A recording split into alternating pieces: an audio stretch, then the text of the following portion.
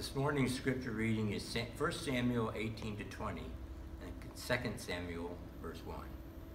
After David had finished talking with Saul, Jonathan came, one in spirit with David, and he loved him as himself. And Jonathan made a covenant with David because he loved him as himself. Jonathan took off the robe he was wearing and gave it to David, along with his tunic, and even his sword, his bow, and his belt. Knowing that his father Saul had threatened David's life, Jonathan said to David, Whatever you want me to do, I'll do for you. Come, Jonathan said, let's go out into the field. So they went there together. Then Jonathan said to David, I swear by the Lord, the God of Israel, that I will surely sound out my father by this time the day after tomorrow. If he is favorably disposed toward you, I will send you word and let you know. But if my father intends to harm you, I will let you know and send you away in peace. May the Lord be with you, as he has been with my father. But show me unfailing kindness, like the Lord's kindness, as long as I live, so that I may not be killed, and do not ever cut off your kindness from my family. So Jonathan made a covenant with the house of David, saying, May the Lord call David's enemies to account.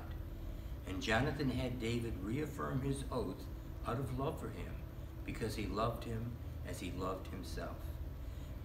Saul continued to threaten David's life, and Jonathan protected him until finally at a dinner, Saul's anger flared up at Jonathan, and he shouted threats and demanded to know where David was hiding.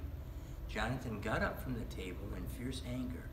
On that second day of the feast, he did not eat because he was grieved at his father's shameful treatment of David. In the morning, Jonathan went out to the field for his meeting with David. After Jonathan gave the agreed upon signal to come out of hiding, David got up from the south side of the stone and bowed down before Jonathan three times, with his face to the ground. Then they kissed each other and wept together, but David wept the most. Jonathan said to David, Go in peace, for we have sworn friendship with each other in the name of the Lord, saying, The Lord is witness between you and me, and between our descendants and my descendants forever. Then David left, and Jonathan went back to the town. After Jonathan was killed in battle, David cried and tore his clothes. How are the mighty fallen in the midst of battle? Jonathan lies slain upon thy high places. I am distressed for you, my beloved Jonathan. Very pleasant have you been to me.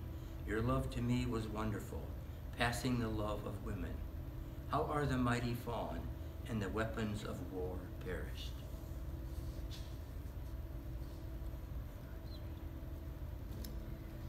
The gospel reading for today is from Jonathan. 19. Start over. The gospel reading for today is from John 19, verses 25 to 27. Near the cross of Jesus stood his mother, his mother's sister, Mary, the wife of Clopas, and Mary Magdalene. When Jesus saw his mother there and the disciple whom he loved standing nearby, he said to her, Woman, here is your son. And to the disciple, Here is your mother. From that time on, this disciple took her into his home. There ends our reading.